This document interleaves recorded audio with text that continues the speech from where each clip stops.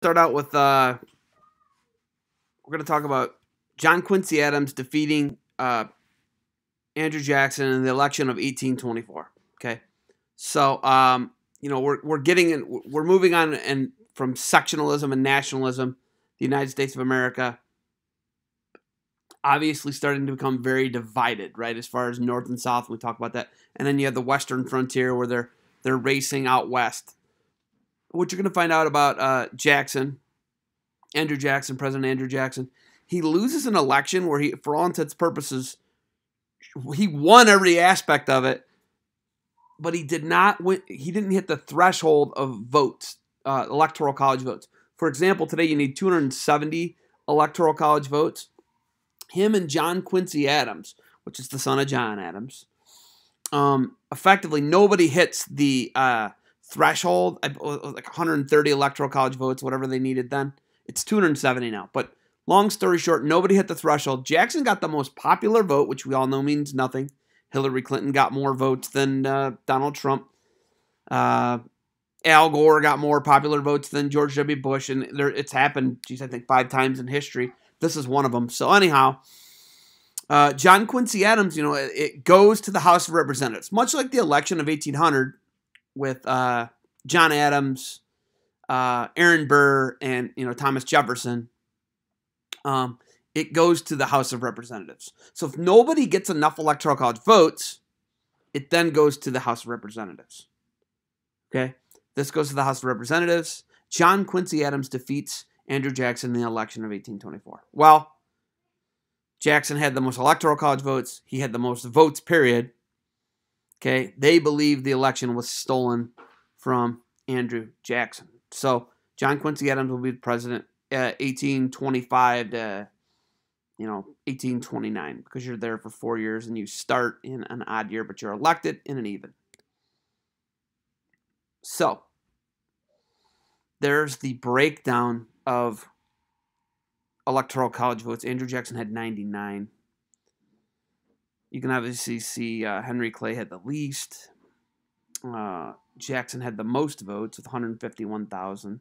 He had 43 percent of the popular vote. He just he, he did not have enough electoral college votes. They didn't hit the threshold. Nobody did. The Congress then elects it. Okay, uh, William uh, Harris Crawford is the other guy with Henry Clay between Qu- John Quincy Adams and Andrew Jackson. So what happens here, folks, and this is what you'll see in third parties. Third parties, there's four parties here, right? Or four four uh, candidates, right? They'll steal votes from somebody else. So a third party might not win, or a fourth party might not win, but they'll steal enough votes to where they it's electoral college votes. They'll steal enough votes to where now you have you have the Congress electing the president. Here's what the electoral college map looked like with the popular vote in there as well. And uh, John Quincy Adams, who is the pink, was a won most of the northeastern states, the New England states. Okay, uh, Jackson from Tennessee wins most of the southern states. But if you think about it, he wins Georgia, he wins Alabama. You know, if he can win those, well, that's Alabama's actually he wins, but um, there's territories there that don't vote. A lot of a lot of wild stuff in early politics. Okay, so if you you know Crawford steals Georgia from Jackson, for example, Virginia, that puts him over the threshold and he wins. If he wins those two southern states, Andrew Jackson wins and he's president for uh, an extra term, and that probably changes how, how much earlier he started chasing Native American tribes out of the American Southeast. John Quincy Adams not able to get much done in his tenure as president. He's unable to really get as much infrastructure built as he wants to because he cannot get things through the Congress. And as you guys know, there's a system of checks and balances. Okay, and a lot of people are really, uh, they, they just don't know president just can't do whatever they want to do. They have to they have to work with the Congress.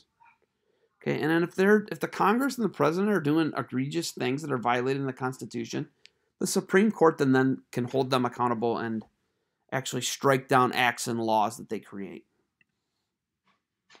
Election of 1828, Jackson's going to run again. Okay? He is going to win the election of 1828. And his big thing is he wants to extend voting rights to the common man. Okay?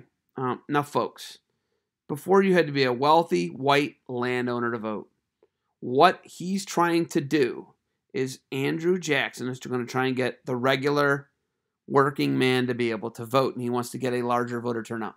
Does he want Native Americans? Does he want slaves? Does he want women to vote? No. But he wants to try and appeal to the common man.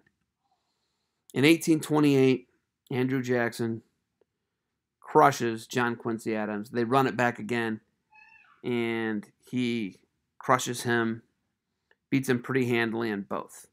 So there's no doubt left this time, and there's not a third candidate stealing votes. So there's no third party here. That's that, that's the importance of third parties. I guess I would say to you, um, they can steal. They can steal. They can steal votes. They can steal territory. They can steal, you know, electoral college votes is ultimately what you want them to steal. Popular vote really doesn't matter in this sense. Okay. Voting expands. So, like I said, um, Jackson wants to expand voting beyond wealthy white male landowners. Okay. He wants to have more people voting in the sense of the common man.